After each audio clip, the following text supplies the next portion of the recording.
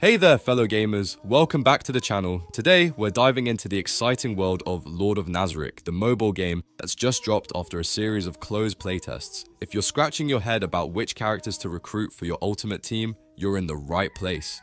We've put together a comprehensive tier list that ranks all the characters from best to worst, so you can make the smartest choices for your gameplay. Whether you're looking to dominate in battles or just want a squad that looks cool, our tier list has got you covered. We'll break down the strengths and weaknesses of each character, making it super easy for you to decide who deserves a spot on your team. So grab your snacks, get comfy, and let's jump right into the best characters in Lord of Nazarick.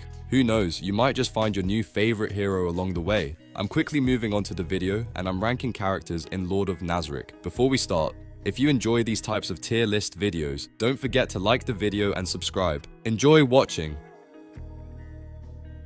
My friends, only 0.1% of viewers subscribe. If you like this type of content, please do not forget to subscribe to the channel. Thank you in advance for your support. The characters in this tier are, in order from top left to bottom right, Sebas. Alright folks, let's dive into one of the more unique characters in our D tier lineup, Sebas. Now, you might recognize him as the butler of the Great Tomb of Nazarick and one of the NPCs serving the Supreme 41. On the surface, Sebas seems pretty impressive. I mean, he's got the same level of authority as the Guardians and leads the combat maids of Pleiades. Pretty noble, right? But before you get too excited, let's break down why he lands himself here in the D tier. First off, let's talk about his combat skills. Sebas boasts some of the highest single target damage in the entire game. Seriously, his damage potential can rival some of the best. However, there's a catch, actually a few. To really make the most of his damage output, you need a very specific team composition. If you can't nail that down, good luck getting him to shine in battle. It's almost like he's got this amazing sports car that only works if you've got the right fuel, otherwise you're just stuck with a really expensive decoration. Now don't get me wrong, Sebas has a noble character, he's all about helping the weak and standing tall against the odds, but in a game where utility and versatility are crucial, Sebas just doesn't cut it. He's kind of like that one friend who's really good at one game but struggles with everything else. You love having him around, but you wouldn't want to rely on him for your next big raid, right? So, if you're thinking about adding Sebas to your lineup, just remember, while he might be a solid choice for some high single target damage, the lack of overall utility and the difficulty in maximizing his potential means he's better left on the sidelines. At the end of the day, it's all about teamwork, and Sebas just isn't the MVP you're looking for in Lord of Nazarick. Keep an eye out for other characters that can really pull their weight. Characters in this tier are, in order from top left to bottom right, Demiurge. Alright folks, let's dive into the C tier characters of Lord of Nazarick. Now these guys have some interesting abilities, but let's be honest, they're not exactly game changers.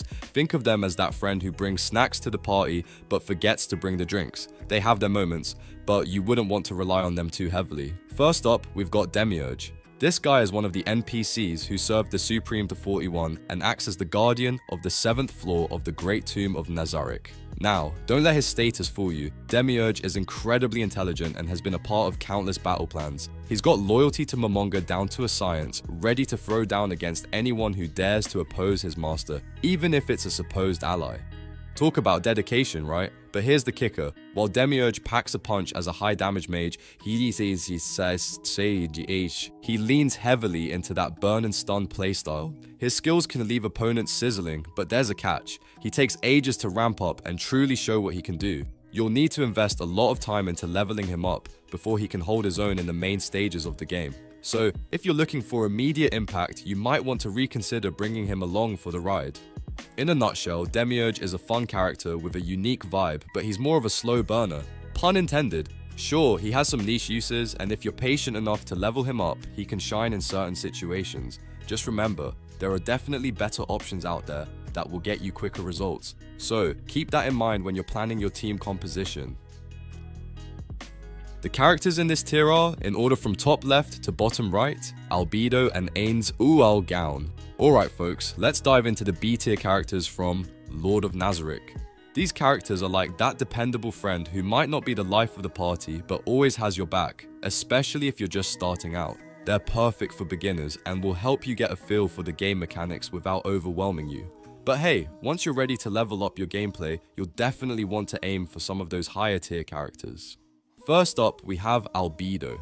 Now, Albedo isn't just your average NPC, she's one of the key players serving under the Supreme for 41, the overseer of all the Guardians at the Great Tomb of Nazarick. And let me tell you, she's stunning. Seriously, you can't help but admire her beauty. But here's where it gets interesting. Her character has been modified by Momonga, which adds a bit of a twist to her personality. This little detail can really influence your gameplay, making her a character you'll want to explore further. Next, let's talk about Ainz Ooal Gown, the big boss himself. He's not just any character, he's the leader of the guild named after him and rules over the Great Tomb of Nazarick. After the epic finale of the DMMO RPG Yggdrasil, he ends up transported to this isekai world in the form of a skeleton avatar. I mean, who doesn't love a good skeleton story, right?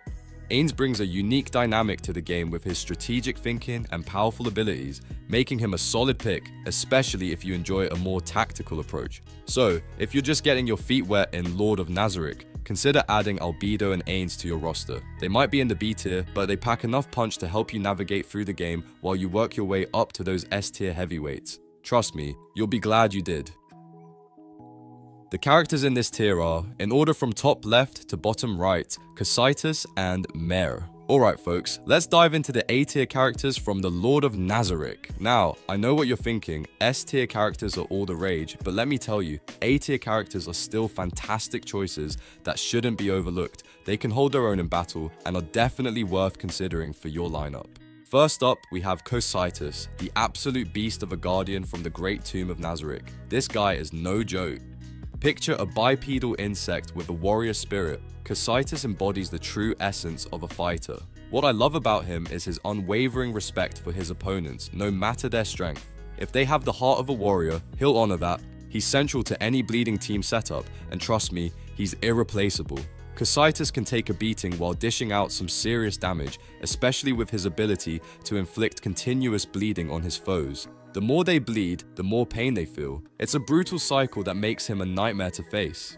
Next, let's talk about Mare, the shy but powerful guardian of the 6th floor. Mare, with his striking heterochromatic pupils, is quite the character. He's got a unique fashion sense too, thanks to the player who created him. I mean, who wouldn't want to rock women's clothing, right? But don't let his timid demeanor fool you, this mage packs a punch with high explosive damage. Sure, he might not have the defensive prowess of some other characters, but if you don't have Evil Eye, Mare is a solid alternative. He can turn the tide of battle with his spells, even if he's a bit frightened most of the time. I think we can all relate to that feeling, right? Both Cocytus and Mare bring unique strengths to the table, making them essential picks for your team. Whether you need a tank who can soak up damage and deal it right back or a mage with explosive potential, these A tier characters deliver. They might not be at the top of the list, but they're definitely capable of holding their own in any encounter. So don't sleep on them. You might just find that they become your go-to characters. In conclusion, if you're struggling to get your hands on those elusive S tier characters, look no further than Cocytus and Mare. They're not just good alternatives, they can be game changers in their own right. Remember, the key to victory often lies in the characters you connect with and how you use their unique abilities. So, gear up, strategize, and let these guardians help you conquer the challenges ahead. The characters in this tier are, in order from top left to bottom right, Shalltear and Aura. Alright, let's dive into the heart of Lord of Nazarick and check out the stellar S tier characters that will make your gaming experience so much more epic. Trust me, these characters are the cream of the crop, and having them on your team will seriously up your game. First up, we've got the amazing Shalltear. Now, Shalltear isn't just any character, she's one of the most formidable NPCs serving the Supreme 41. Picture this, a vampire who looks like a young girl, guarding the first three floors of the Great Tomb of Nazarick. Pretty cool, right? What's even cooler is that she's the strongest among the Guardians in one-on-one -on -one battles. She's got a bit of a crush on Momonga, and that adds an interesting twist to her character. Even though she might not be as powerful as some other versions out there, she's still a fantastic choice. And the best part? You can snag her for free. With her ability to absorb life from enemies, Shalltear can heal herself without relying on healers. Plus, she's a crucial anti-cure unit in those early stages of the game. Talk about a win-win. Next up, let's talk about Aura. This lively guardian of the 6th floor is not only visually striking with her heterochromatic pupils, but also has a personality that shines just as bright. She's got a bit of a quirky edge, rocking men's clothing because, well, why not? Aura is an extrovert with a zest for life, and you can really feel that energy when you're playing. But don't let her playful nature fool you, she's a powerhouse in battle. As a mono-target character, she can remove advantages from her foes, while also boosting her own stats. Imagine increasing critical damage and critical chance while taking down your enemies. Now that's what I call a game changer. What really sets both Shalltear and Aura apart is their unique abilities that can turn the tide of battle in your favor. Shalltear's life absorption skill means you can go toe to toe with tougher opponents without worrying too much about healing. And with Aura's knack for stat manipulation, you'll be dishing out serious damage while keeping your enemies on their toes. These characters aren't just great for their individual skills, they also synergize well together, making them an excellent duo for any player looking to dominate. So, whether you're just starting out or looking to refine your team composition, make sure you prioritize getting your hands on Shalltear and Aura. With them by your side, you'll be slicing through enemies and progressing through the game like a pro. These two are truly a must-have in any Lord of Nazarick lineup, and I can't recommend them enough. Remember, having the right characters can make all the difference in your gameplay experience, so gear up, grab Shalltear and Aura, and get ready to unleash some serious power in the great tomb of Nazarick. Happy gaming, and may your victories be plentiful. The video ends here. See you in another video. Don't forget to subscribe.